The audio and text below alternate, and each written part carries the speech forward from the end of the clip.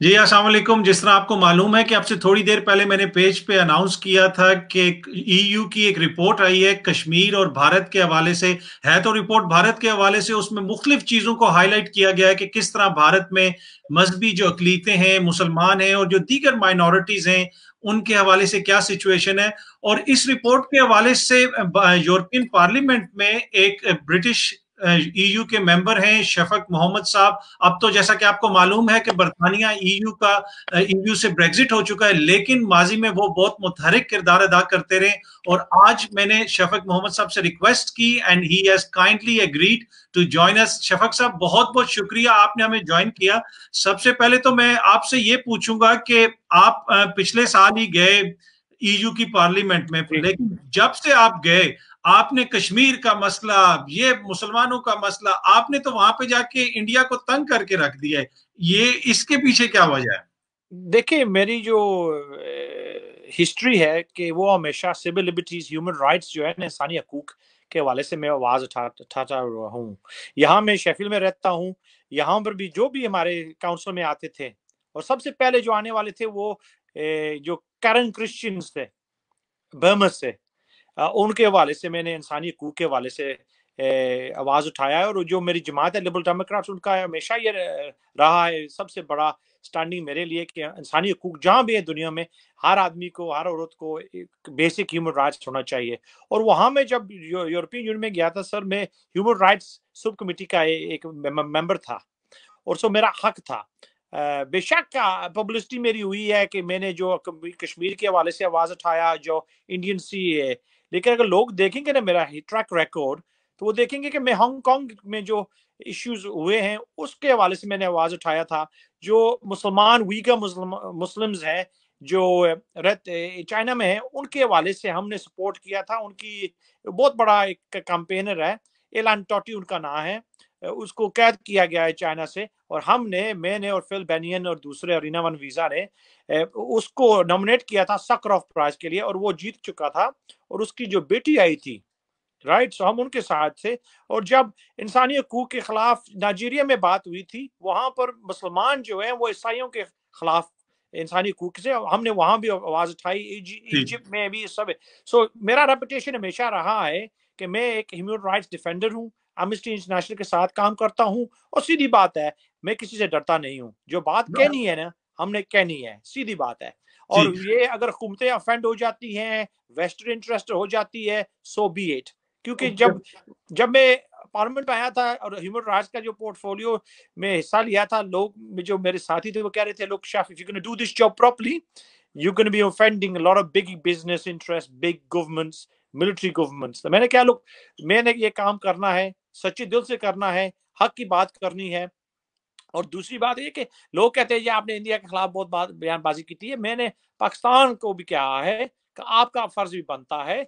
आप जो है आपकी जो हिस्ट्री है मोहम्मद अली जिना की जो बयान है आपका जो झंडा है उसमें जो सफ़ेद हिस्सा है उसको भी आप याद रखें कि उसका क्या मैना है।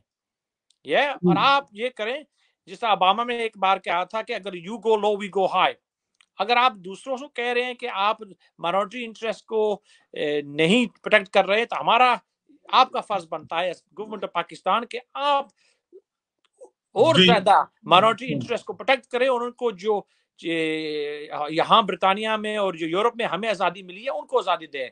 और उस, उस, सो यहाँ पे एक, एक, एक सही होती है that he who seeks justice must also have clean hands so जो इंसाफ माँगता है उसको उसके भी हाथ जो है ना वो भी साफ़ होने चाहिए। साफ़ होने चाहिए। अच्छा शफक साहब आपने बात की कि और बड़ी अच्छी बात की कि दुनिया में जहाँ पे भी इंसानी हकूक की खिलाफ वर्जी हुई आपने उसके उस हवाले से आवाज़ उठाई। अब थोड़ा सा हम आते हैं रिसेंट एक रिपोर्ट आई मई के महीने में ही ईयू की रिपोर्ट और उसमें है challenges facing India democracy and economy India की जो जमहूरियत और मीशत है उसको चैलेंजेस उसमें बहुत सारी चीज़ों का ज़िक्र आया उसमें एक कश्मीर का ज़िक्र भी आया उसके अलावा जो सिटीजन अमेंडमेंट एक्ट है सिटीजनशिप अमेंडमेंट एक्ट जो भारतीय शहरियत के हवाले से उन्होंने कानून मुतारिफ करवाया था उस हवाले से भी इंडिया को क्रिटिसाइज किया गया। तो मैं थोड़ा सा पीछे जाऊँ तो आपने एक रेजोल्यूशन पेश की थी टेबल की थी in European Parliament regarding citizenship amendment act जो भारत की शरीयत के हवाले से जो कानून साजी थी उस हवाले से आपने तहफात का इजहार किया था अपनी रिजर्वेशन शो की थी। तो थोड़ा सा आप हमें इस रिपोर्ट के बारे का थोड़ा सा बैकग्राउंड हमें बताएँ। You could speak in English as well English and Urdu मैं मैं उर्दू में बोलता हूँ अगर शायद अंग्रेज़ी में बोलना पड़े। सीधी बात है ये जो यूरोपियन रिसर्च सर्विस होती है पार्लियामेंट में सो ये किसी सियासतदान ने नहीं की। ये जिसका हम कहते हैं ब्यूरोक्रेट्स वहाँ के जो मकामी मुलाजिम है यूरोपियन पार्लियामेंट के, उनकी रिसर्च डिपार्टमेंट जो है दुनिया में हर हिस्से में रिसर्च करती है और हमें वो इंफॉर्मेशन देती थी और भी दे रही है जो वहाँ पर हैं दूसरे जो एम e और ये डॉक्यूमेंट जो है, वो सब एम e को चली गई है और मुख्तलिफ़ जबानों में है। ऑब्वियसली मेरी जबान इंग्लिश में है सो जो मेरे पास डॉक्यूमेंट भेजी गई हुई है, वो इंग्लिश में है, लेकिन फ्रेंच में भी होगी ये और दूसरी जबानों में भी। और ये ये आउटलाइन कर रही है कि पिछले साल में इंडिया में क्या सूरत हाल है?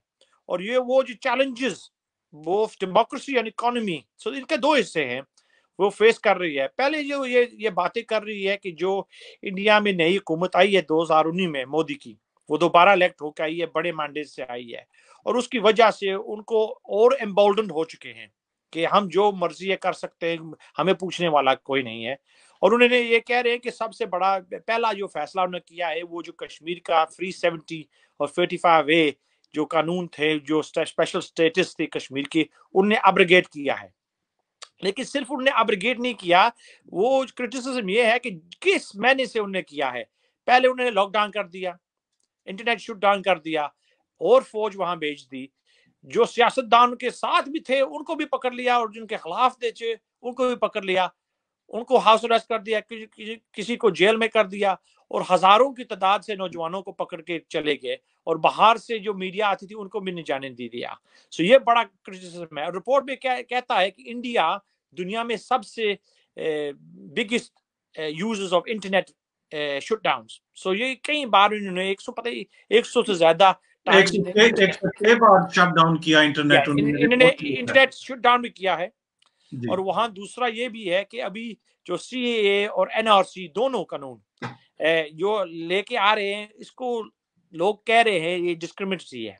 और ये मेरा बहस भी था कि ये कहते हैं कि जो तीन मुल्क है इंडिया के करीब, बांग्लादेश, पाकिस्तान और जो अफ़गानिस्तान है, वहाँ से जो लोग वहाँ पर पनाह लेने चाहते हैं इंडिया में, वो उन लोगों को पनाह देंगे जो हिंदू होंगे, सिख होंगे क्रिश्चियन होंगे, सभी होंगे, सिर्फ़ मुसलमानों को नहीं देंगे। और मेरी ये नजरअंदाज है कि यहाँ जो मैं बैठा हुआ हूँ, और लोगों को रिसर्च करना पड़ेगा कि मैं कौन हूँ, कहाँ बैठा हूँ। मैं शेफिल में बैठा हूँ, मैं 2004 में काउंसलर बना था और 2005 में हमने इस शहर को सिटी ऑफ़ सेंचुरी स्टेटस दिया था यूके में। ये इंग्लैंड का चौथा बड़ा शहर है, और इसका मतलब ये था कि हमें नहीं परवाह, आप कहाँ से आए हैं? आपका कौन सा मज़हब है? आपके आपके कौन सी पोलिटिकल एफिलिशिएशन है? लेकिन अगर आपको पनाह चाहिए तो हमारा जो शहर है, वो वाइज शहर होगा इंग्लैंड में, जो आपको वेलकम करेगा, आपकी खिदमत करेगा और आपको लुक आफ्टर करेगा। और हमने ये सिटी सेंचुरी स्टेटस हासिल किया था उसके बाद कई शहरों ने इंग्लैंड में किया था।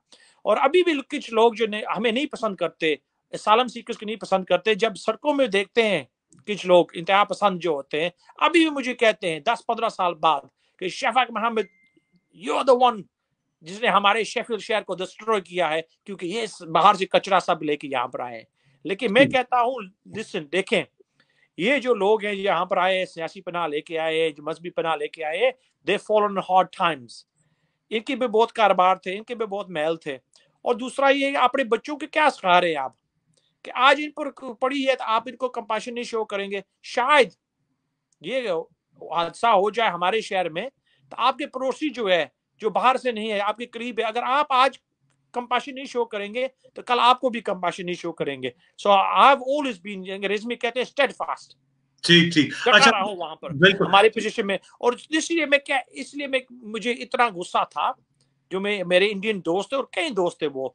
वहाँ के जो इंडियन एम्बेसडर थी गायत्री कुमार मैं उनसे मिला भी था।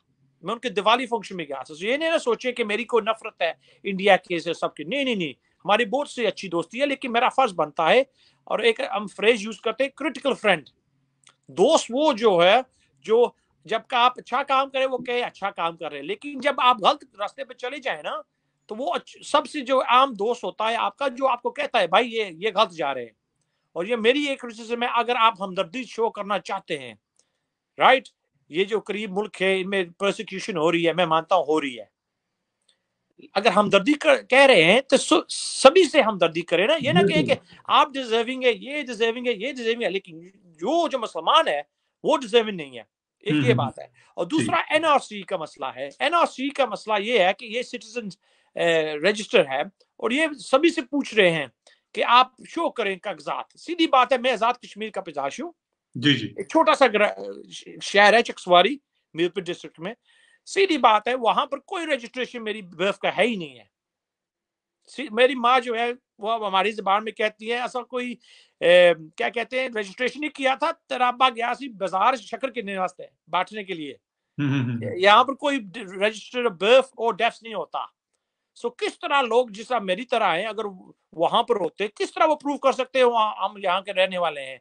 कोई कोई वहाँ पर का, कागज़ नहीं यहाँ यूके में ये होता है सर कि जब पैदा होते हैं यहाँ पर टाउन हॉल में आपके रजिस्टर होता है बर्फ़ जब आप मरते हैं आपके जो दूसरे खानदान के लोग होते हैं जाकर रजिस्टर करते हैं यहाँ के कानून है ऐसा। हमने कहा था कि लोग ये एनआरसी असम में जब हुआ था करीबी करीबन 1.9 मिलियन पीपल सो आपको इसका कहते हैं बीस लाख बीस लाख लोग जो है इस, इसके बाद पड़े थे। बिल्कुल। और ये क्या हुआ था? फिर अक्सरियत उनकी जो हिंदुओं की थी। और ये सीए उसके बाद आया था और उन्हें क्या किया है कि ये जो एक दो लाख बीस लाख लोग हैं इनको जो हम सीए में डालेंगे जो मुसलमान होंगे वो उससे ऊपर रहेंगे और दूसरे नीचे से निकल आएँगे। और जो जो हिंदू हैं क्रिश्चियंस हैं इनको हम सिटीजनशिप देंगे और जो मुसलमान है उनको हम स्टेटलेस कर देंगे। और मेरे लिए सबसे लोग पूछ रहे हैं यार जिस दिन ये डिबेट हुई थी यूरोपियन पार्लियामेंट में आप क्यों इतना इमोशनल थे? सीधी बात है मैं कह रहा था अपने कॉलीग से। और इसलिए वहाँ पर जो छह बड़ी बड़ी ग्रुपें हैं मेरे साथ एक कदम पर चल पड़ी थी पहले नहीं थे। जब ने उनके मैं एक्सप्लेन किया था मैं उन्होंने कहा था कि यार हम जिस बिल्डिंग में बैठे हुए हैं यूरोपियन पार्लियामेंट इसकी तारीख क्या है? क्या वजह है यहाँ पर हम आए थे? ये क्यों सेटअप हुआ है? और ये इस वजह सेटअप हुआ है कि दो जो वर्ल्ड वो टू टू थी जो हिटलर के खिलाफ वो जंग थी उसके बाद यूरोप ने ये सोचा हम एक दूसरे के साथ बैठ के काम करेंगे या लड़ाई झगड़ा नहीं करेंगे। और जो सबसे आम बात हुई थी जो run of world war two थी एक कानून था न्यूरमबर्ग लॉज ये आप तारीख देखें न्यूरमबर्ग लॉज उन्होंने क्या किया था?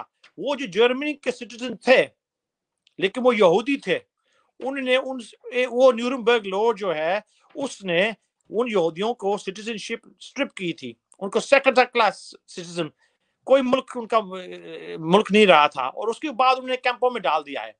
अब जो मैंने देखा था इंडिया में जी, ये बिल्कुल वही हो रहा है। उनकी सिटीजनशिप स्ट्रिप हो रही है डिटेंशन कैंप सेटअप हो चुके हैं। बेशक मोदी साहब कह रहे हैं कोई कैंप नहीं है।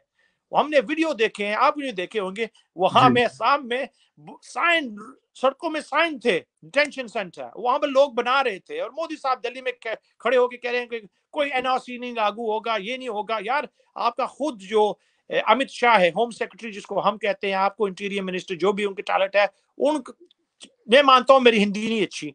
लेकिन जब वो लोग वो शख्स कहता है हमने एनआरसी लागू करना है पूरे मुल्क में मुझे समझ आ जाती है ये लोग ये क्या कह रहा है? ये कह रहा है कि we are gonna do the NRC across the country अगर असम में 20 लाख लोग स्टेटलेस हो सकते हैं पोटेंशियली तो सोचे कि दूसरे हिस्सों में क्या हो रहा है। सो so, हमने वो आवाज़ उठा आवाज़ उठाई। वहाँ पे बहुत बड़ी इंडियन लॉबी हुई उन्हें कोशिश की थी इसको टोटली वाइप आउट करें लेकिन नहीं हुआ। 111 एमईपी उनके साथ थे लेकिन वो जो है ना वो नहायत इंतहा पसंद है।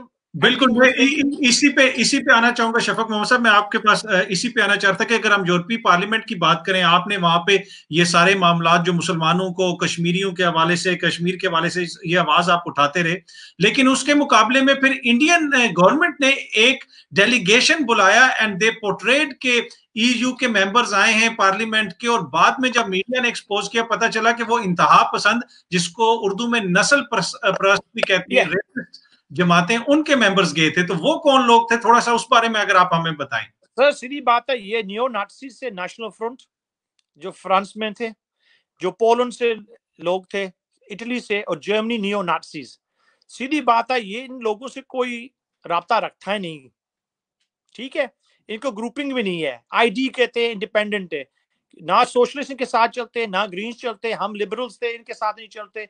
दूसरे जो ईपीपी e थे बहुत, सब जो बड़े बड़े ब्लॉक्स थे, इनको कोई नहीं पूछता। और इनने क्या किया कि मेरा एक साथी था, क्रिस डेविस, वो मेरा जमात का है, उसको भी उन्होंने दावतनामा दिया है। अरानगी की बात है कि पूरी तारीख यूरोपियन पार्लियामेंट में, पहला कश्मीरी मैं हूँ, और वे कश्मीर में जा रहे हैं, और कश्मीरी को उन्होंने दावतनामा दिया नहीं। एक तरफ़ कहते हैं जिस हिस्से में हमारी पदाश है, वो इंडिया का इंटेग्रल पार्ट है। अगर वो मानते हैं इंटेग्रल पार्ट है उसका जो पदाशी एम e है, उसको क्यों नहीं आपने दावतनामा दिया? और उन्हें चुन चुन कर लोगों को खड़ा, जब क्रिस डेविस ने कहा कि मैं जाना चाहता हूँ, लेकिन कश्मीर में मेरे साथ कोई फौजी नहीं होगा, कोई पुलिस नहीं होगा, कोई सिक्योरिटी नहीं होगा, और मुझे जहाँ भी मुझे, मेरी मर्ज़ी होगी, मेरे जाना है।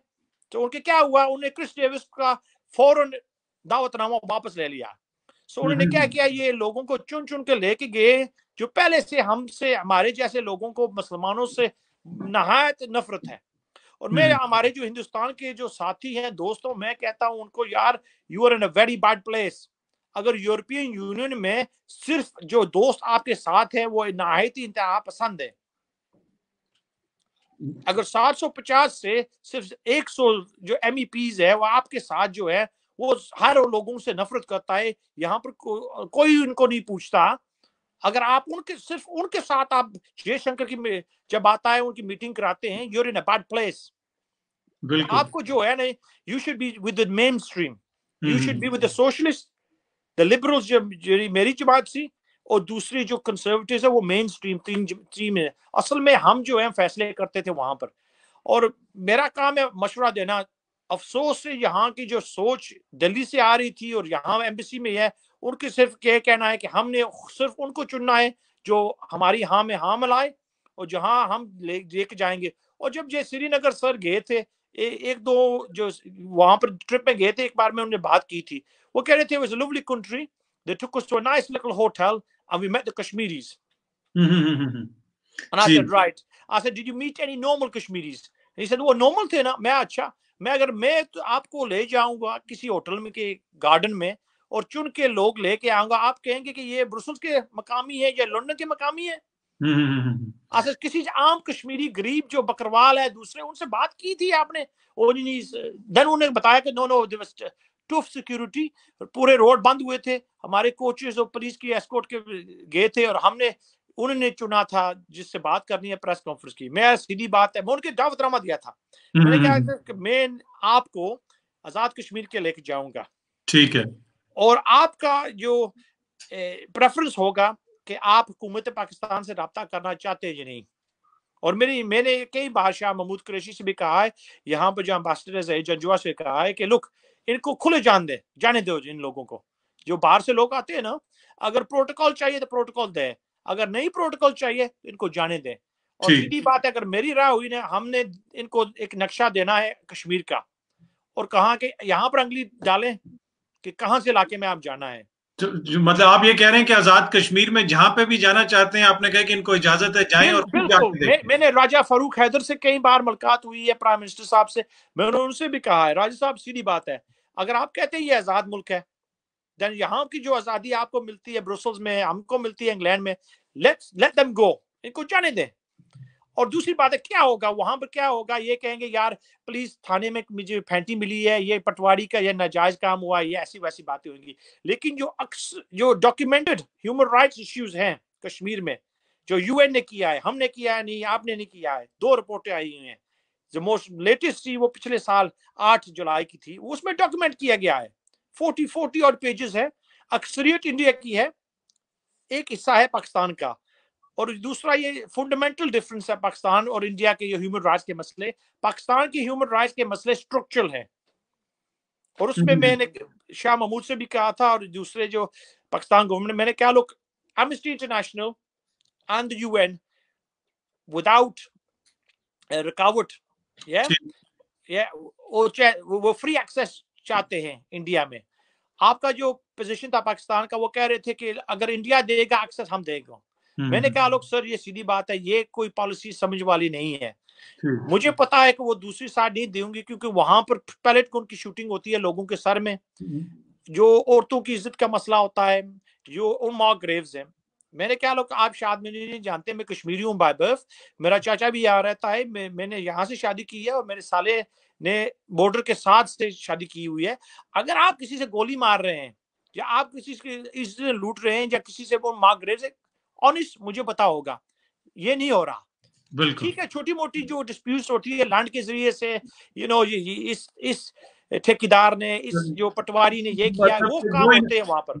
वो होते बिल्कुल बड़ी अच्छी आपने बात की कि जो मकबूजा कश्मीर में जो हालात हैं आज़ाद कश्मीर को उससे कंपेयर नहीं किया जा सकता। अच्छा दूसरी बात मैं एक और आपसे पूछूँगा शफक साहब के अब जब तक बरतानिया पार्लियामेंट में था यूरोपियन पार्लियामेंट के अंदर अब तो ब्रेग्जिट हो गया है।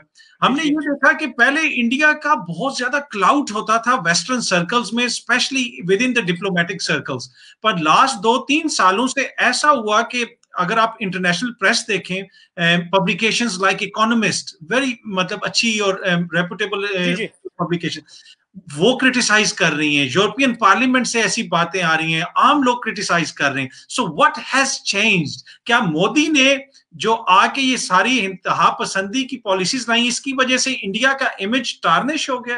एब्सोल्युटली लुक देखिए, यहाँ पर जहाँ हम बैठे हुए हैं, अगर आम यहाँ के इंग्लैंड के जो लोग हैं ब्रिटिश हैं अंग्रेज़ हैं, उनसे पूछे इंडिया का इमेज क्या है? वो कहेंगे Taj Mahal Delhi red fort etcetera right लेकिन जो अभी जो उनके सामने ये निकाब जो हमने the veil lifting on India so ये ये जो रिपोर्ट आई हुई है, ये, जो आपने पढ़ी है, मैंने पढ़ी है, ये, जब ये ये पढ़ते हैं तो वो हॉरिफाई हो जाते हैं कि ये कह रहे हैं कि यार एक तरफ़ से ये मुझे, हमें बता हुआ है कि इंडिया सबसे बड़ी डेमोक्रेसी है और ये सेक्युलर है, सब कुछ है, यहाँ पर जो भी मुल्क, जो भी मज़हब है, वो गेट एक दूसरे के साथ काम कर रहे हैं, ये ये क्या तब्दीली हो चुकी है पिछले पाँच सालों में? और मैं कहता हूँ, मैं मानता हूँ इंडिया की हिस्ट्री जो है, महात्मा गांधी की, वो सेकुलरिज्म थी, वो रिलीजियस नेशनलिज्म नहीं थी, ठीक है? लेकिन ये रिलीजियस नेशनलिज्म जो आया है मोदी का और इंटॉलरेंस कहते हैं। कोई बर्दाश्त ही नहीं है किसी और की। ठीक है? मैं बोलता हूँ मैं कहते हैं या, यार ये पाकिस्तान का एजेंट है। यार मेरा हाथ देखे पाकिस्तान अगर मैं छह छह हफ़्ते पूरी चालीस साल में गया हूँ ये जो आप सुन रहे हैं लोग उनको खुद पता चल जाएगा मेरी उर्दू कितनी अच्छी है या नहीं। ठीक है? अक्सरियत मेरी मेन लैंग्वेज इंग्लिश है। और आप घर में हम छोटी मोटी बोलते हैं मेरी वालदा साहब यहाँ पर है मैं चार साल का था यहाँ पर मेरे वालद साहब यहाँ पर फिफ्टीज में आए थे, मेरे ग्रैंड डैड और अंकल्स और मेरा वाला साहब यहाँ भी फोत हुए थे। और ये वहाँ पर हम बॉडी लेके गए थे, मेरी पुप्पी जान और मेरी माँ। ठीक है? सो हम यहाँ के सेटल थे मैं ब्रिटिश पॉलिटिशियन हूँ, लेकिन मेरा फ़र्ज़ बनता है कि जब पाकिस्तान अच्छा काम करेगा, उनको शाबाश करूँगा। जब पाकिस्तान गलत करेगा सो मैंने कहा पाकिस्तान को, जो आठ जो इश्यूज़ हैं, जो यूएन की रिपोर्ट कश्मीर के वाले से, जो आपके वाले हैं प्लीज़ यू एड्रेस दैम ये ये राइट टू द टॉप मैंने कहा है कि जब आप इनको ड्रेस करेंगे सो मैंने कहा उनको एक हवाला दिया था कि लोग आप जो कहते हैं कि जो जो पॉलिटिशियन खड़ा होना चाहता है असेंबली इलेक्शन आज़ाद कश्मीर में अगर वो इंडिपेंडेंस की सोच वाला है आप उसको टिकट नहीं देते खड़ा नहीं होने देते क्यों नहीं देते? हमारे मुल्क में एक जमात है S M P Scottish National Party वो क्या मानती है? वो मानती है कि यूके से अलग होके वो खुद मुख्तियार हो। हम क्या करते हैं? उनको बंद करते हैं हम कैदों में डालते हैं। No we fight with them against them in elections and referendums so मैंने क्या अगर हम कर सकते हैं आप भी करें। आप अच्छा, आजमा लें कि ये जो जो कहते हैं हम इंडिपेंडेंट होना चाहते हैं इनको टेस्ट करना दें ना। इनका कितना सपोर्ट है? और ये आपको पाकिस्तान को जो आज़ाद कश्मीर को डेमोक्रेसी वो सबूत कर दे कि लोग हमारे आज़ाद कश्मीर में इतनी बर्दाश्त है कि जो लोग कह रहे हैं कि हम खुद मुख्तियार होंगे ना इंडिया के साथ जाने वाले हैं ना पाकिस्तान के साथ जाने वाले हैं हम उनको कैदों में नहीं डालते जो आप कर रहे हैं। हम उनको इलेक्शन में डिफीट करते हैं हम उनको इलेक्शन में हराते हैं अगर वो जीत भी जाए राइट? कम अज कम वो डिफरेंट वॉइस ओपिनियंस है। और मैं एक दूसरी बात ये कहता हूँ हमेशा कहता हूँ इस्लामाबाद में भी की थी या ब्रुसल में की थी और अभी यहाँ भी कहता हूँ जब हम कश्मीरियों की बात करते हैं ना तो हम सिर्फ़ मुसलमानों की बात नहीं करते। हर कश्मीरी की बात करते। हमने हुरियत वालों से ये होटल में बैठ के मैं कहा था पिछले जु, जुलाई में कि आप जब सर बात करेंगे ना मेरे सामने कश्मीरियों की सो हर कश्मीरी को आपको उस उनको सो जो पंडित से उनके sorry sir no, no, no उनके साथ जो इश्यूज़ हुए थे उनको भी हमें एक्नॉलेज करना पड़ेगा। जो बुद्धिस्ट है वहाँ पर जो सिख है उनको वो भी कश्मीर का हिस्सा है। अगर हम कश्मीर की बात करेंगे ना सो so, ये हमारे ये ये, ये मेरा ये पोजीशन होता है। लोग सब कहते हैं यार ये बहुत सख्ती से बोलता है। लेकिन शफक साहब साहब बोलना पड़ेगा। बिल्कुल। शफक साहब ने बड़ी खूबसूरत बात की। उन्होंने कहा कि जब हम कश्मीर की बात करते हैं तो हम issue with the noise audio can you hear me no I, I can I can hear you, Shafak Saab. Can you hear me or no? You still can't hear me? Uh, uh, maybe your uh, earphones. I don't know. I can hear you. So. Ah, okay, no problem. So जी थोड़ी सी audio की problem हो रही है। शफक साहब जिस तरह बता रहे थे कि जिस तरह मैंने आपको बताया कि बरतानिया से मोहम्मद शफक साहब यूरोपी पार्लियामेंट के मेंबर थे और जिस, जितना इन्होंने कश्मीरियों के हवाले से वहाँ पे आवाज़ उठाई। अब आपको मेरी आवाज़ आ रही है? सॉरी सर किसी ने जरा इंटरनेट के इंटरफेरेंस हो चुका लेकिन मैं अभी आवाज़ आ रही है सॉरी ओके अच्छा बिल्कुल आपने बड़ी खूबसूरत बात की और बड़ी अच्छी बात की कि जब कश्मीर की बात करते हैं इंसानी हकूक की बात करते हैं चाहे कश्मीर में हो इंडिया में हो पाकिस्तान में हो तो किसी मज़हब की बुनियाद पे नहीं करते इंसानियत की बुनियाद पे करते हैं चाहे कोई अगर कल हिंदुओं के खिलाफ जुल्म होगा किसी और मज़हब के खिलाफ जुल्म होगा तो फिर उसके ऊपर भी आवाज़ उठा देंगे। बिल्कुल बड़ी अच्छी आपने बात की। अच्छा मैं थोड़ा सा आऊँगा ईयू पार्लियामेंट की जानेब और पाकिस्तान में भी एक होती है कश्मीर कमेटी जिसके पहले माजी में मौलाना फजल रहमान साहब रहे और डिफरेंट अफरीदी अभी अफरीदी साहब आए। अफरीदी साहब बन गए। तो ये जो पाकिस्तान से डेलीगेशन आते हैं शफक साहब वो क्या डू यू थिंक वो जस्टिफाई करते हैं अपनी इतना जो बजट खर्च करके वहाँ पे ईयू में आके केस प्रेजेंट करते हैं? बी ऑनेस्ट विद अस के मतलब कि कि, कि वो सिर्फ़ आके होटलों में ठहर ठुर के ये एम और एम हमारे वापस चले जाते हैं। सीधी बात है लोग काफ़ी के जो आते हैं हम उनको मोस्ट वेलकम करते हैं लेकिन हम कहते हैं कि जिस मकसद के लिए आए हैं उनसे करें। सो so, अगर आप ट्रेड के लिए आए तो जो ट्रेड कमेटी के लोग जो हैं उनसे बात करें। ये ना करें कि जो आम एम e होते हैं उनसे बात करें। सो so, मेरा में ये मशवरा हुआ हुआ है हमेशा कि अगर आप आ रहे हैं राजा फरूक आदर साहब दो तीन बार आए हुए हैं सरवर साहब आए थे पीटीआई के जो हुकूमत से लोग आए थे जो प्रेसिडेंट हैं मसूद साहब आज़ाद कश्मीर के वो भी आए थे और हम उन, उनको पाकिस्तान भी मिले थे। आ, मेरा ये होता है कि जिस मकसद के लिए आए ना वो उनसे मीट करें आप उनसे कम्युनिकेट करें। आ, और ये जो हमारी कम्युनिटी में होता है अक्सरियत क्या होता है कि जलसे जुलूस होते हैं वो उर्दू में होते हैं। सो एक क्रिटिसिज्म मेरी है ये ये जो बाहर से लोग आते हैं, उनके नहीं है, जो वहाँ मकामी होते हैं हमारे। और यहाँ यूके में भी ये होता है और ब्रसल में देखा है। ब्रसल के अगर जिस लोग जानते हैं, उसके बाहर पार्लियामेंट में एक प्लस लुक्स कहते हैं जिसको। वहाँ पर लोग गठे होते हैं और अक्सरियत क्या होता है, उर्दू में बात करते हैं। और मैं उनको देखता हूँ, अल्लाह अल्लाह के बंदे देखो, यहाँ पर हज़ारों लोग जो हैं, वो यूरोपियन है, वो उर्दू नहीं बोलते हैं। राइट या अंग्रेज़ी में बोले या फ्रेंच में बोले तो इनको इनको भी पता चले कि ये लोग यहाँ पर जो लाउड स्पीकर में नारे मार रहे हैं, किस वजह से मार रहे हैं? और इस इस इस हवाले से मैं एक जो अदारा है में, कश्मीर काउंसिल जो अली रजा साहिब और दूसरे जो हैं। बिल्कुल यहाँ पे मैं थोड़ा थोड़ा सा ऐड करना चाहूँगा। हमारी कोशिश थी कि अली रजा सैयद साहब को भी ईयू काउंसिल वाले जो हैं वो उनको शामिल किया जाए। उनको मैंने लिंक भी भेजा हुआ है पर मेरे ख्याल में कुछ टेक्निकल इश्यूज़ हो रहे हैं। Due to some some technical issues Ali Raza Syed sahab हमें ज्वाइन नहीं कर सके। प्लीज़ आप बताइए जरा अली रजा सैयद साहब के बारे में आप क्या बता रहे हैं। Assalamualaikum. एक इशू पर नो अली रजा साहब इज़ वो, उन्होंने हमें ज्वाइन नहीं किया, अभी वो ज्वाइन नहीं कर सके। So Shafaq sahab you can on please sorry sir अभी मैं जो प्रॉब्लम हो रहा है शायद फिक्स कर चुका हूँ। बिल्कुल अली रजा साहब जो है ना, मुझे पहले मिले थे। और एक उनकी खूबी है, वो पार्लियामेंट के बाहर भी काम करते हैं, लेकिन पार्लियामेंट के बीच में भी काम करते हैं। सो मुझे पता है कि जब हमने, एक तो जो आर्टिकल फ्री सेवेंटी का रेवोकेशन का डिबेट हमने किया था। वो अगस्त में हुआ था पार्लियामेंट अभी वो छुट्टी में थी। लेकिन जो सबसे पहली मीटिंग थी पार्लियामेंट की ह्यूमन राइट्स कमेटी की, वो सबसे फॉरेन अफेयर्स कमेटी सबसे पहला जेंडर आइटम कश्मीर का था। और वहाँ पर राजा फरूक साहब भी थे, अली साहब भी थे। उसके बाद अली साहब मेरे पास आए थे, अगर शफक, हमने कश्मीर वीक करनी है। मैंने कहा, अली साहब, बेशक अब करें लेकिन कश्मीर वीक करें इस तरह के आप आउटवुड लुकिंग है एंगेजिंग है। सो हमने एक फोटोग्राफिक एग्जीबिशन किया था। अली साहब ने ऑर्गेनाइज किया था मेरा तो सिर्फ़ मशवरा था। जो उसका टाइटल था the beauty and the tragedy so Kashmir की जो खूबसूरती भी है और ट्रेजिडी जो है हमने फोटोग्राफिक एग्जीबिशन किया था पूरे हफ़्ते के लिए।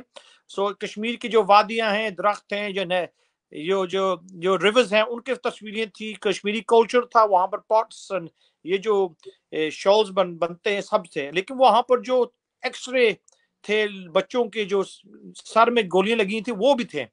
और हमने जो अली साहब से ये मशवरा किया था कि अली साहब मेरी नजरअंदाज में सबसे बड़े विक्टिम्स हैं, जो कश्मीर के इशू के, वो औरतें हैं। अगर कोई बच्चा मरता है, उनका बच्चा होता है, भाई होता है। अगर हस्बैंड मरता है तो उनका होता है, और वालिद उनका होता है। और जो अगर कोई इज़्ज़त के हाथ उठाता है तो उनके सो। द बिगेस्ट विक्टिम्स मेरी नजरअंदाज में वो औरतें होती हैं। और दूसरी मैं अली साहब से ये भी कहा था कि लुक मैं आज़ाद कश्मीर का यू नो तलकात है मेरा ये ओरिजिन है।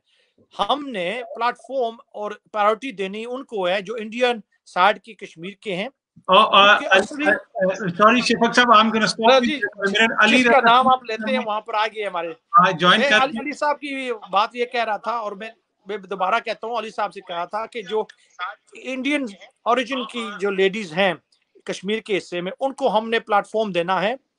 और हमने जो मीटिंग की थी अली साहब कश्मीर वीक में हमने ये किया था कि वो जो लेडीज़ हैं उनको प्लेटफॉर्म दिया था। सबसे पहले वो बोलती थी उनको प्रायोरिटी हमने दी थी। और दूसरे लोग का काफ़ी तादाद में लोग आए थे लेकिन हमसे उनसे माजरत की, की थी कि लोग प्रायोरिटी इनको दी जाएगी लेडीज़ को।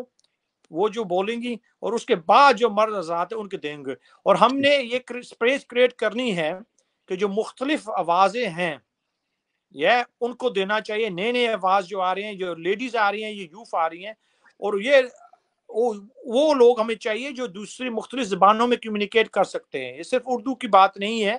जो फ्रेंच में बोलता है उनको फ्रेंच में हमने प्लेटफॉर्म देनी है और जो अंग्रेज़ी बोलता है उनको भी देनी चाहिए। और हमारा फ़र्ज़ बनता है कि हमें अपॉर्चुनिटीज़ क्रिएट करें। अली साहब अभी वहाँ पर हमने ड्यूटी कर रहे हैं ड्यूटी बहुत अच्छी।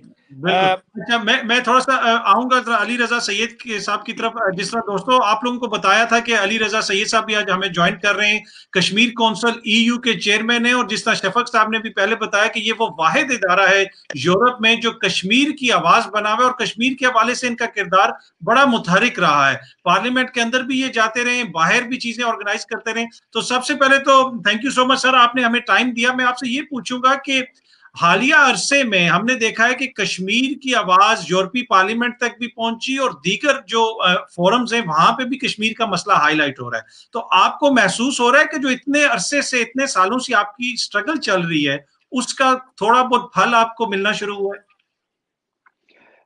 सबसे पहले तो बहुत शुक्रिया आपका, आपने टाइम दिया। काजमी साहब, असल में ये जो कश्मीर का इशू है यूरोपियन पार्लियामेंट के अंदर आज से पंद्रह साल पहले हमने शुरू किया था।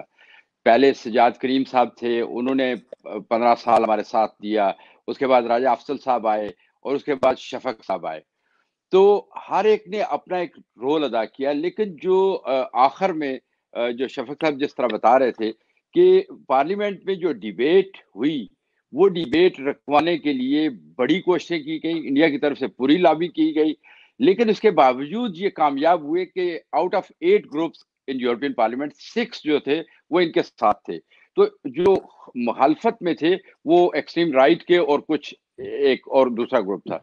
तो उस उससे आप अंदाज़ा करें कि जो मसलसल एक जदोजहद यूरोपियन पार्लियामेंट के अंदर हो रही थी उसका और जिस तरीके से आ, मैं ये सामने बैठे हैं शफक साहब मुँह पे नहीं करना चाहता लेकिन जो इन्होंने अपने उस शॉर्ट पीरियड में जितना इन्होंने कश्मीर इशू पे काम किया यहाँ पे जब भी हमें ज़रूरत होती थी हम इन्हीं के पास जाते थे रात को फ़ोन करते थे दिन को फ़ोन करते थे हमें ये ज़रूरत है ये हर वक्त वो हमेशा तैयार रहते थे। तो मकसद मेरा कहने का ये है कि यूरोप में इस वक्त खासकर यूरोपियन पार्लियामेंट में सबसे बड़ा सबूत जो है वो यही है कि ये जो रिपोर्ट आई है इस वक्त देखिए ये तीसरी रिपोर्ट है। यूरोपियन पार्लियामेंट की रिसर्च सर्विस 2014 में एस्टेब्लिश की गई थी, उससे पहले नहीं थी। और उसके बाद पहली जो रिपोर्ट आई थी और दूसरी, ये तीसरी है। लेकिन वो पहली और दूसरी रिपोर्ट्स अगर आप देखें तो उसमें हिस्ट्री बयान की गई थी, कॉन्फ्लिक्ट के बारे में थोड़ा सा बयान किया गया था, लेकिन इंडिया के ऊपर कोई तनकीद नहीं की जाती थी। इस रिपोर्ट में जिस तरीके से उन्होंने खुल के तनकीद की है तो इसका मतलब है कि दुनिया के हालात जो हैं वो बदल रहे हैं।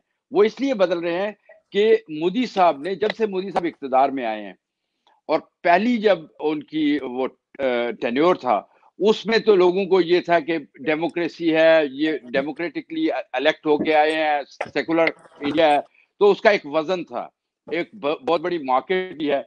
लेकिन जब दूसरी दफ़ा वो कामयाब हुए हैं, पिछले साल, उसके बाद से जो जो इकदाम उन्होंने किए हैं, आप देख लें, वो 370 हो 35 ए हो या इन, जो इंडियन सिटीजनशिप लॉ है वो देख लें। और खासकर इंडियन सिटीजनशिप लॉ के बाद जो है वो इतना उनके खिलाफ जो आ, क्या कहते हैं ना तशवीश जो है यूरोपियन यूनियन में वो बढ़ती चली गई है। और इसके साथ साथ वो मैं ऐड करता चलूँ कि, कि जो यूरोपियन पार्लियामेंट का पार्लियामेंटेरियंस का ग्रुप गया था 27 28 मेंबर्स जो लेके गए थे मोदी सरकार के वो मादी शर्मा साहब यहाँ पे है वो बीजेपी की रुकन है।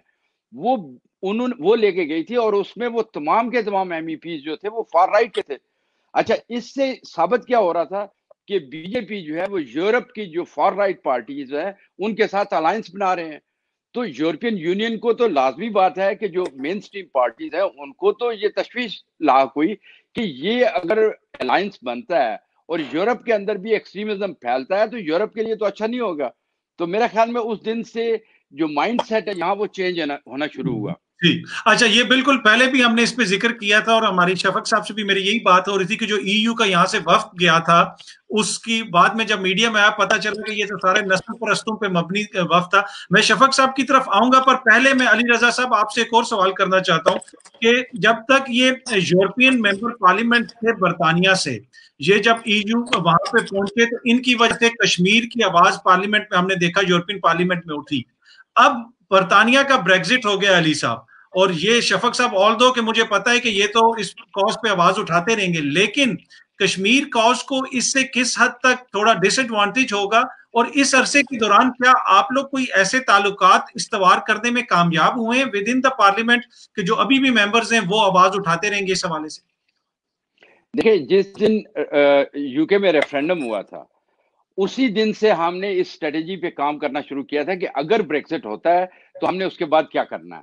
तो वो उसमें जितने ये हमारे मेम्बरान थे ब्रिटिश मेम्बरान खासकर शफक साहब हैं और दूसरे जो मेम्बरान थे, इनकी मदद से भी और दूसरा हमने जो अपना एक लिंक उनके साथ कायम किया था, उसको हम बढ़ाते चले गए।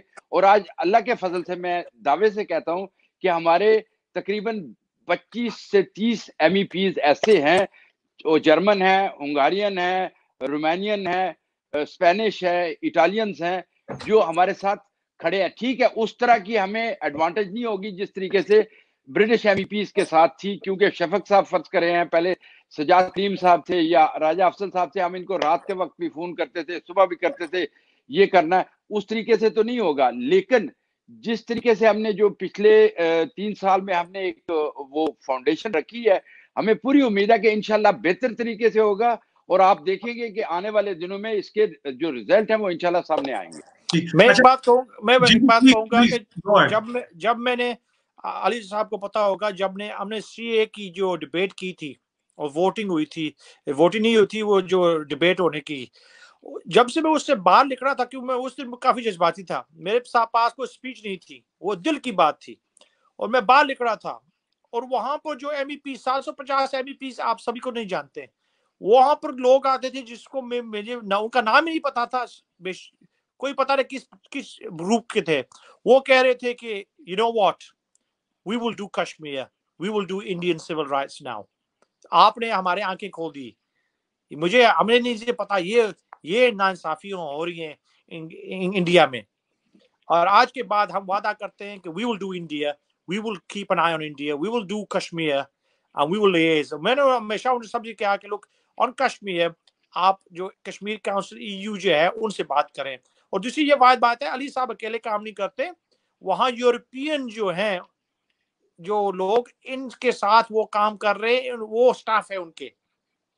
सिर्फ़ पाकिस्तानी कश्मीरी जो है ये हमारी हमेशा गलती रही है। अगर मैं मशवरा देना चाहता हूँ लोगों से सुन रहे हैं कि जब आप लॉबी करते हैं तो ना करें कि सिर्फ़ हमारे कश्मीरी मर्द हो वहाँ पर। इनकी जो टीम है एक अली साहब होते हैं एक वो जो आंड्रे होता है वो हंगेरियन है। जी? और दूसरी जो लड़की होती है वो रोमेनियन है कौन सी है अली साहब? Romanian Romanian Ramona Ramona. Ramona Romanian है।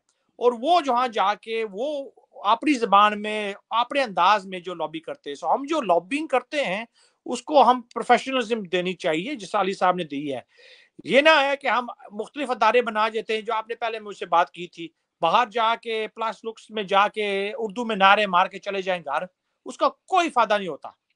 हम्म, हम्म, असल में लॉबिंग ये होती है लॉबिंग ये होती है कि लोगों से एम से रहा रखें उनसे बात करें। देखें मैं यहाँ पंद्रह साल से यूके में सियासतदान हूँ। अभी शेफील्ड जो चौथा बड़ा शहर है उनका लीडर अपोजिशन हूँ। एक वक्त था यहाँ पर acting leader of the council था। आपको पाकिस्तान में नाजम कहते हैं कौन सा होता है उसका टाइटल ठीक है? और यहाँ का जो नायक वज़ीर आज़म था निक क्लेग उसके जो हुकूमत के दौरान में मैं निक क्लेग के लिए भी काम किया था।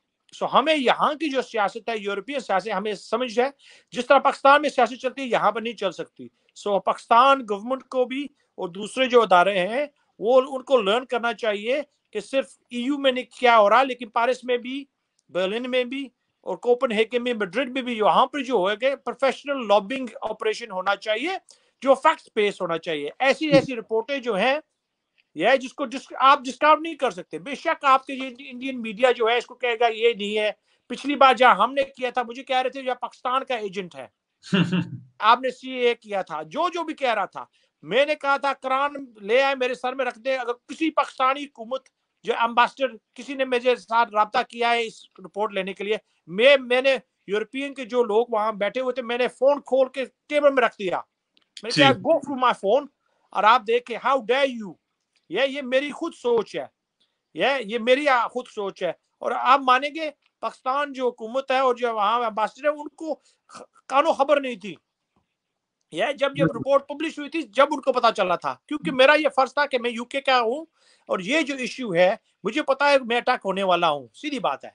लेकिन मैंने कहा मुझे नहीं परवाह क्योंकि ये हक की बात है कि सीएए जो है और एनआरसी जो करोड़ों लोगों को को फ़र्क उसका फ़र्क पड़ेगा उनके लिए। और मेरा ये फ़र्ज़ बनता था कि नाइंसाफ हो रहा है। और अक्सरियत में कहता हूँ लोगों से मैं इंडियन फ्रेंड्स को बेशक आप मुझसे गुस्सा है मीडिया वाले गुस्सा है। मुझे पता है मैंने देख दो जो टीवी चैनल्स हैं जी और इंडिया टुडे का जो भी है उनके उन सभी से मेरे राब्ते हुए थे जिस तरह मैंने आपसे रब्ता किया था। मैंने कहा था मैं किसी से डरता नहीं हूँ। जो हाँ ईयू से मैंने इंटरव्यू दिए थे। मैं चलो this is what I stand for आप बेशक मेरी जो बताश है मैं उसको तब्दील नहीं कर सकता। तो ना में किसी ने तब को डिनाई किया। अली साहब को पता होगा सबसे पहली स्पीच अली साहब मैंने की थी और मैंने क्या किया था? मेरा नाम शफाक मोहम्मद है मैं यूके से हूँ लेकिन मेरी बदाश कश्मीर से है।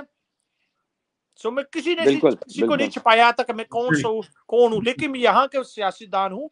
और लेकिन हमारी हक की बात करता हूँ और ये हम कहते हैं बड़ी अच्छी आपने बात की कि कतः नज़र के किस कम्युनिटी से ताल्लुक है इंसानी हकूक की बात है तो सबके लिए आवाज़ उठा रहे हैं और आने वाले दिनों में कोशिश होगी कि मैं इंडियन मीडिया से भी वो जो जर्नलिस्ट वहाँ पे चीखते हैं उनको यहाँ पे बुलाऊँगा और आपके साथ उनसे फेस टू फेस यहाँ पे वो जो है ना डिस्कशन भी करवाएँगे मैं, मैं, मैं एक बात बात बताऊँ जर्नलिस्ट की। जी जी। शायद वो मुझसे गुस्सा करेंगे। जब टीवी स्टेशन में होते हैं चीखते हैं जब फ़ोन में बात होती है ना एक दो से कहते हैं शवक एक्चुअली यू आर राइट बिल्कुल हमारी मजबूरी है। सीधी बात है। मैं listen I am gonna just मैं सीधी बात करता हूँ। सो उनकी मजबूरी होती है सर बिल्कुल सही टीवी चैनल के मालिक के है ना वो कहते हैं आपको यही कहना है। उन्होंने एजेंडा अपना अच्छा मैं अली रजा सैयद साहब की तरफ़ आऊँगा। अली रजा साहब लोग दुनिया भर से उनकी कोशिश होती है कि वो यूरोप आए। मैं थोड़ा सा टॉपिक को चेंज कर रहा हूँ। यूरोप आते हैं, बड़े पैसे दे के, बीस लाख दे के, और जब यहाँ पे आते हैं, आसूदा ज़िंदगी गुजारते हैं, आप भी माशाल्लाह आसूदा ज़िंदगी यूरोप में गुजारे। तो आपको क्या मुसीबत है कि कभी धूप में खड़े, कभी बारिश में खड़े सिग्नेचर इकट्ठे कर रहे होते हैं, मुल्कों मुल्कों, पूरे यूरोप में फिर रहे होते हैं? तो ये क्या मोटिवेशन है? देखिए काजमी साहब, मैं जब कॉलेज दौर में था, मेरे पास वो डॉक्यूमेंट्स अब भी पड़े हुए हैं कभी कभी मैं अपने दोस्तों को दिखाता हूँ।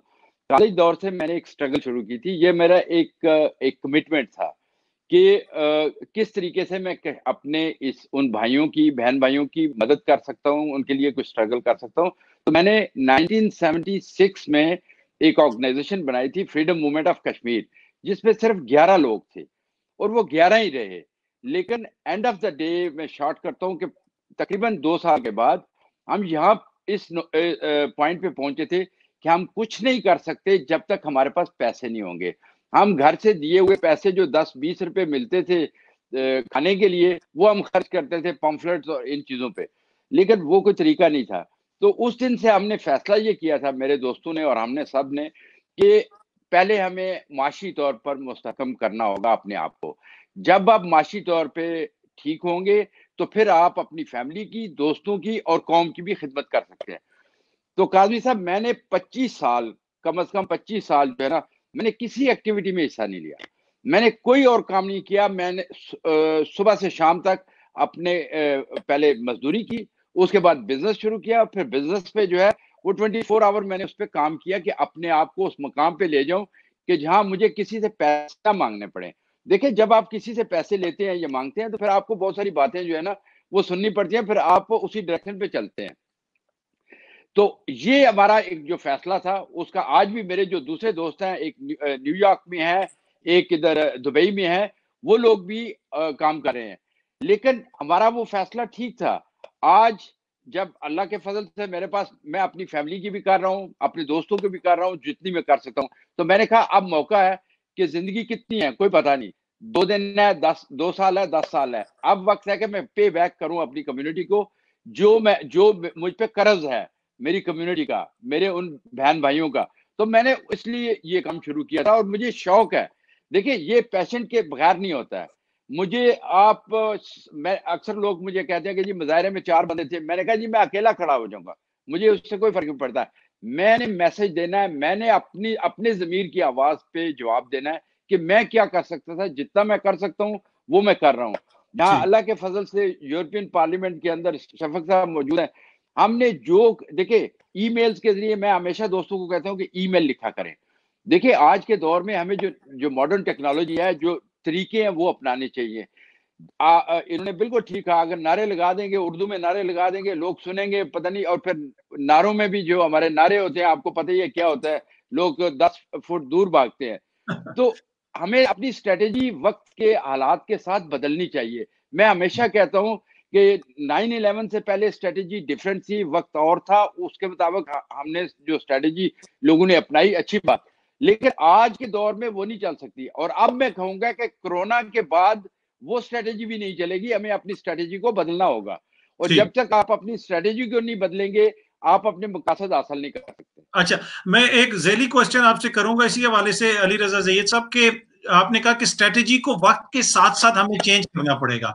तो पहले मैंने शफक साहब से भी इस हवाले से पूछा था कि जो हुकूमत पाकिस्तान की तरफ़ से और हुकूमत आज़ाद कश्मीर की तरफ़ से, यहाँ डेलीगेशन वगैरह आते हैं, काम भी होता है कश्मीर के हवाले से, क्या उनकी जो स्ट्रेटेजी है वो वक्त के साथ साथ चेंज होती रही? क्या वो वक्त के तकाजों के साथ हम आहंग है? आप क्या कहेंगे? सर, मैं तो पंद्रह साल से कह रहा हूँ कि पाकिस्तान की जो स्ट्रेटेजी आप कह ले जो नाइन इलेवन के बाद की है वो स्ट्रेटेजी किसी हद तक चेंज हुई थी लेकिन उसके बाद अब अभी तक उसके रिज़ल्ट नहीं मिले। तो जब आपको अपनी स्ट्रेटेजी के रिज़ल्ट नहीं मिलते तो आ, उसका मतलब यह है कि आपकी स्ट्रेटेजी फेल हो गई है। तो आपको चाहिए कि आप दानश्वरों को बिठाए। आपके पास बड़े बड़े ब्रेन बैठे हैं कश्मीर में हैं पाकिस्तान में है डायस्पोरा में है आप बिठाएँ। थिंक टैंक्स बनाए। उनसे आप नई स्ट्रेटेजी के बारे में पूछे कि इन हालात में कैसे किस तरीके से काम करना चाहिए। फिर उस स्ट्रेटेजी पे अमल दरामद के लिए जो लोग काम कर रहे हैं, उनको भी पता हो कि ये नैरेटिव है, इस पे हमने काम करना है। देखिए, इस वक्त हमारे पास, हकीकत में आपको बताऊँ, हमारा कोई नैरेटिव नहीं है। जब आप पार्लियामेंट में जाते हैं, शफक साहब को पता होगा पार्लियामेंट में दस दस किस्म के लोग आते हैं और आके दस किस्म की डिफरेंट बातें करते हैं। लोगों को लोग कंफ्यूज होते हैं। हमारा एक नैरेटिव है जो हमारे ह्यूमन राइट्स वायोलेशन है हमारी जो ऑर्गेनाइजेशन है वो बेस, बेसिकली ह्यूमन राइट्स पे काम करती है।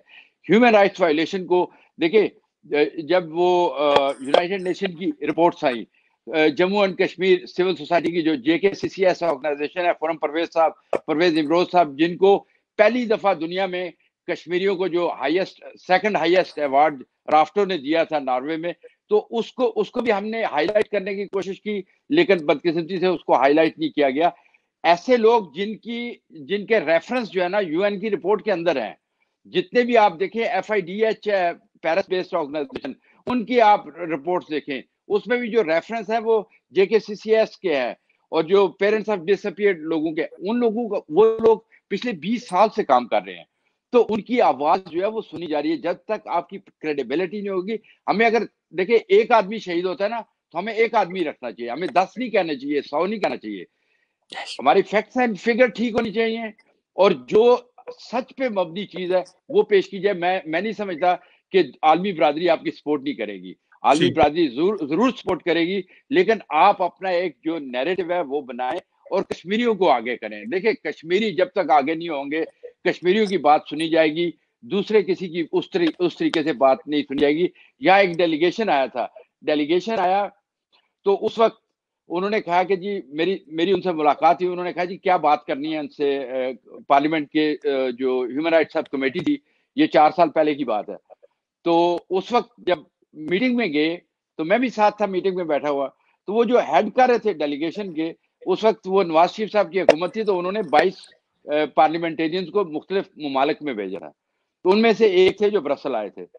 तो जब उन्होंने बात की तो उन्होंने कहा, भाई तारफ करवाया ना, ये कश्मीरी है, वो पाकिस्तानी थे, इस तरह करे उन्होंने कहा, भाई, आप अपनी बात करें, पहले आप वहाँ क्या हो रहा है, वहाँ क्या हो रहा है, कश्मीर की बात, कश्मीरी जो है ना, वो हमारे साथ करेगा। तो मैंने उस दिन से हमेशा कहा है कि जब भी आप करते हैं, पाकिस्तान की सपोर्ट जो है ना, देखिए, आज तक पाकिस्तानी कौम ने सत्तर साल से पाकिस्तानी कौम ने सपोर्ट की है। उसका उसका तो कोई वो वो नहीं है इनकार नहीं है। लेकिन अब देखना यह है कि अब वक्त बदल चुका है। वक्त के साथ साथ आपको अपने जो सपोर्ट है उसके अंदाज को भी बदलना होगा और देखना होगा कि किस तरीके से आलमी बरादरी को आप कैसे कर सकते हैं कायल कर सकते हैं वरना आपकी बात नहीं सुनी जाएगी। जी, बिल्कुल, बड़ी अच्छी आपने बात की कि वक्त के साथ साथ जो स्ट्रेटेजी है, उसको भी बदलना पड़ेगा।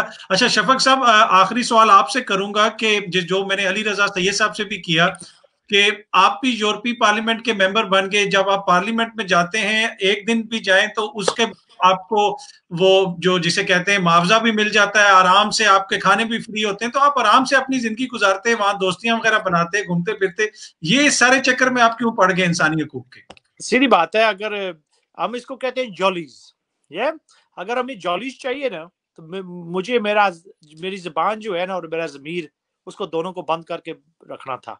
और किसी से कोई कोई बात करने की ज़रूरत नहीं थी सिर्फ़ गो विद द फ्लो लेकिन मेरा जो मेरा खुद ब्रिंग उपब्रिंगिंग है मेरी जो सोच है यू you नो मैं, मैं अभी भी सोच मेरी है कि मैं कहाँ से हूँ? चक्सवारी से हूँ कच्चे मकान का हूँ। बेशक यहाँ आलिशान घरों में रहते हैं सूट पहनते हैं सब कुछ है लेकिन आदमी जो जहाँ से आया है वो उसको यू शुड नेवर फॉरगेट आप कहाँ से आए हैं। और लोग कहते हैं जो मेरे साथी थे वहाँ पर अरीना दूसरे कह रहे तुम्हारी जर्नी इनक्रेडिबल है यार। आप यहाँ बैठे हुए हैं गी हॉफस्टार्ट जो बेल्जियम का प्राइम मिनिस्टर था साली साहब का प्राइम मिनिस्टर दूसरा जो चलोस था रोमेनियन का और मेरे जिस इर्द गिर्द एक एक दो यार्ड का फ़र्क होता था गी हॉफस्टार्ट बैठा हुआ था। और वो सभी कह रहे थे मैं फॉरन मिनिस्टर था मैं प्राइम मिनिस्टर था। मैं कहता मैं छोटे से गाँव का हूँ चकसवारी का यूके में रहता हूँ मेरा वालद साहब मजदूर था मेरा दादा नाना सब जो है मजदूर थे मैं मजदूर तबके का तू था जब मैं स्कूल में लेव किया था मानते हैं आप मैंने सताईस पौन चालीस घंटे की जो ए, काम था लॉरी अनलोड करना। सो जो हुम्बल बैकग्राउंड है ना मेरा मैं कभी नहीं भूला कि मैं गरीब तबके से हूँ और मैं फॉर्चुनेट हूँ कि मुझे अल्लाह के करम से उस अहदे तक लेके गए थे कि जहाँ पर मैं सिर्फ़ कश्मीर की बात नहीं की अली साहब को पता है मैं मुझे ईयू ने नारोबी भी भेजा था। यूएन कॉन्फ्रेंस और वहाँ दस हज़ार आदमी थे वहाँ मुख्तलिफ़ प्रेसिडेंट्स प्राइम मिनिस्टर्स पता नहीं कौन कौन से अहदेदार थे वहाँ पर। वहाँ पर भी ईयू की तरफ़ से मुझे बोलने का मौका दिया था। और सीधी बात है जब यूके लीव होने वाला था वहाँ पर भी लोगों ने अप्रोच किया था। अली साहब आपको पता होगा कि सर आप यहाँ पर हैं। यू स्टे इन ब्रुसल्स कि आ, आप जो है मैंने क्या लोग मुझे अपने घर में जाना है। ये जो इश्यूज़ है मेरे लिए हमेशा करीब रहेंगे।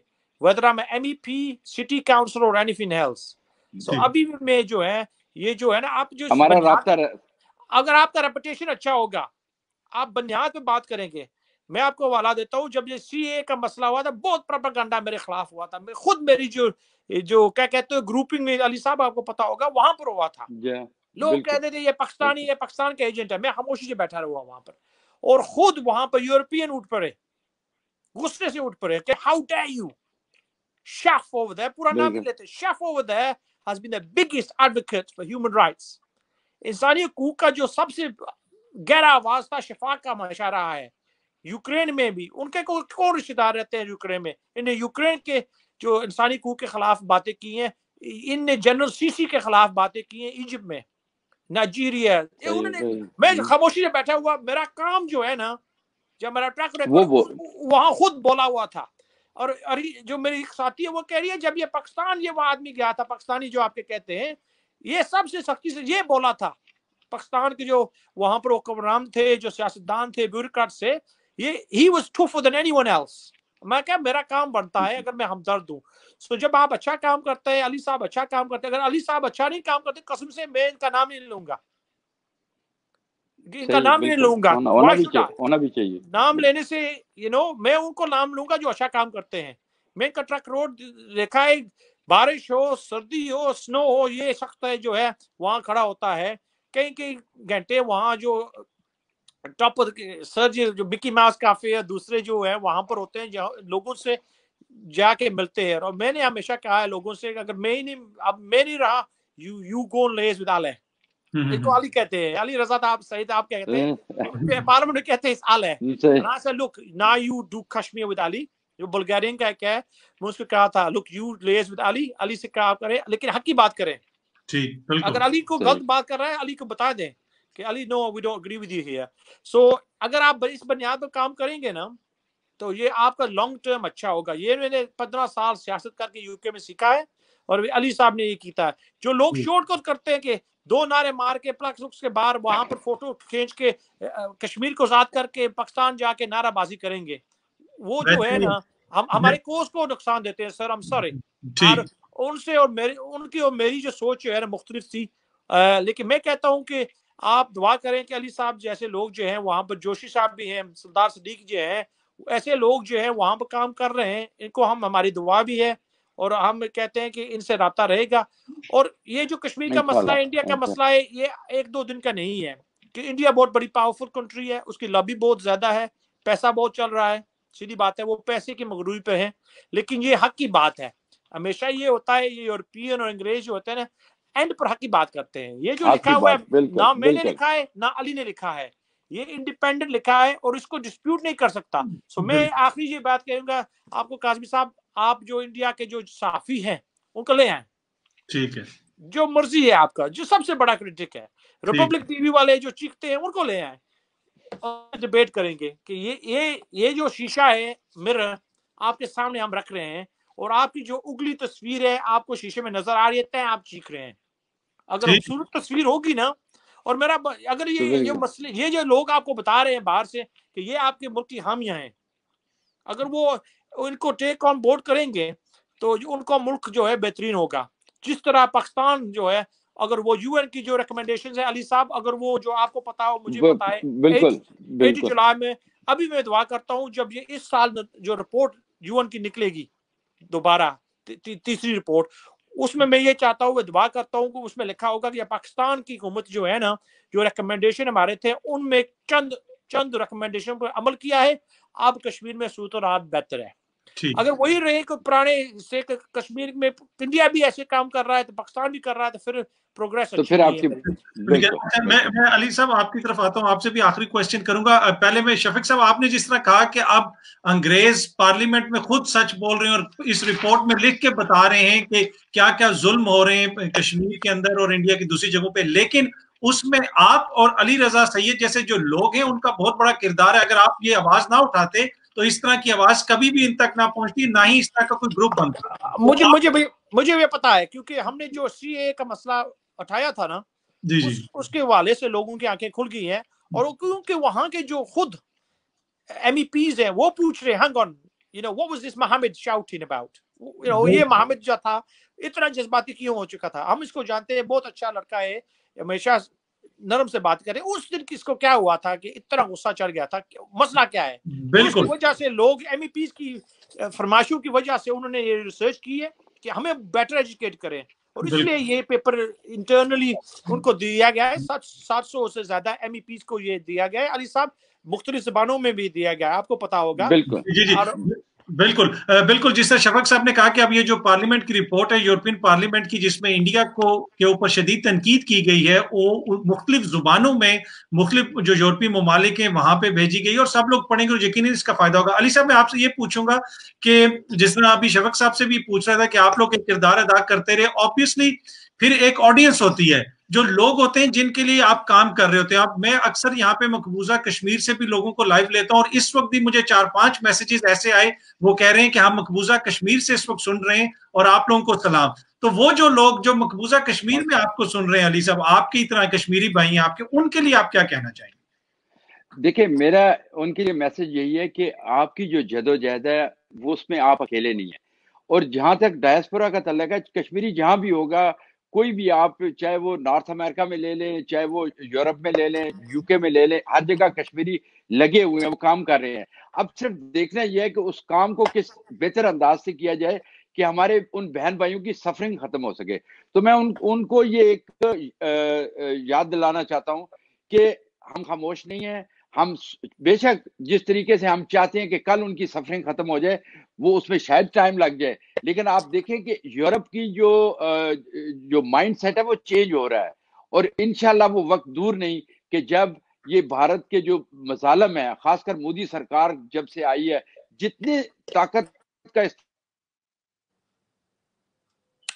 जी आ, लगता है जी जी प्लीज़ ताकत के इस्तेमाल से वो शायद कश्मीरियों की तहरीक आज़ादी को दबा लेंगे, लेकिन आपने देख लिया कि ताकत के बलबूते पे किसी कौम को दबाया नहीं जा सकता। सिर्फ़ और सिर्फ़ जस्टिस के साथ, और जब तक जस्टिस नहीं होगा, कश्मीरियों को उनका हक नहीं मिलेगा, हम जहाँ भी जितना भी कर सकते हैं, हम इंशाल्लाह आवाज़ उठाते रहेंगे। हमारी मकबूजा कश्मीर के लोगों के साथ, वहाँ के जो एक्टिव लोग हैं, ह्यूमन राइट्स पे काम करते हैं, उनके साथ रेगुलर बेसिस पे हम वो करते रहते हैं, उनके साथ हमारे रबता रहता है।